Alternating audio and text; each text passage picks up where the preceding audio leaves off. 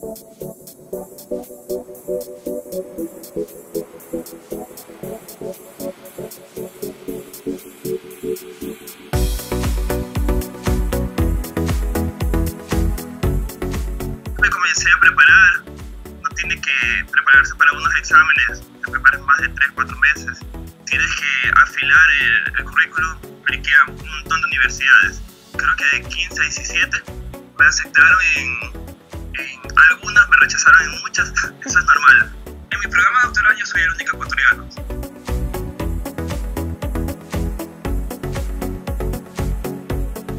Durante mis prácticas comunitarias, yo di clases de emprendimiento en una fundación a madres solteras. Me maté haciendo un, un programa con lo mejor que podía yo ofrecerles para que su emprendimiento vaya bastante bien. Recuerda que al final no se ve mucho porque muchas veces los, no les dejaban como que salir de la casa.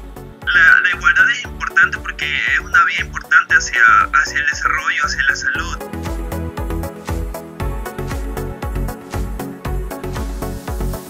Me gustaría aprender cómo tabular esto, cómo, cómo generar resultados y siempre me pareció una, una un arte el hecho de, de, tener una persona conmigo tratando, preguntándome cosas sobre mi vida.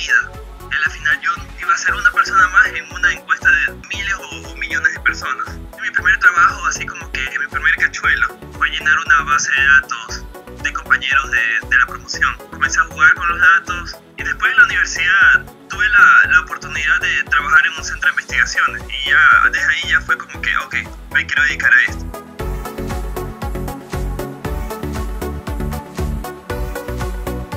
Me encantaría regresar a Ecuador, en parte porque, porque estudié una maestría en investigación social, porque siempre veía todas estas cosas que pasaban y yo no sabía cómo responderlas. Sería bueno como que ir y personas y cada vez que alguien proponga una política, decir, aquí hay un estudio y estoy haciendo al respecto de esto. Y yo anhelo un Ecuador donde se crean políticas en base a evidencia científica y no en base a opiniones o ideologías.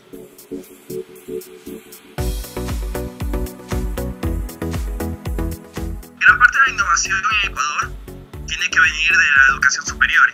A la investigación le falta y siempre es importante que, que haya como que una conexión entre Estado, empresa y academia.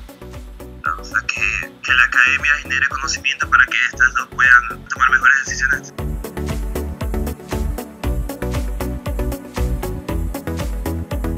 O sea, es difícil regresar a Ecuador y, pretender que, puedo ir a, muchas empresas y que me contraten. Y puede ser que te vean mal porque tienes un título extranjero, así que a lo mejor piensas que, piensas que estás, sobre, estás sobrecalificado. A hacer maestría sin tener experiencia laboral y eso en Ecuador no, no funciona. El paradigma acá es diferente. Aquí la gente está estudiando cuatro años y de ahí va al mercado laboral.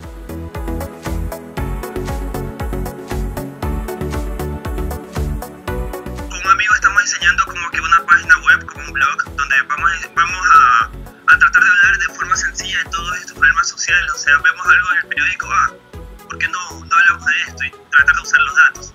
Lo que yo quiero es como que, hay datos y se los puede usar y es importante que influya en la toma de decisiones.